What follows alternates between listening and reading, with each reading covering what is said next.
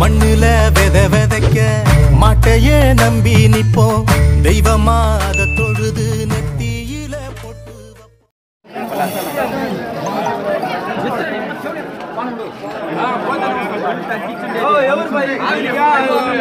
జరి మంచి ఆవులు రాకుండా మధ్య రావులు ఇంత ఇరకాటం పడేస్తా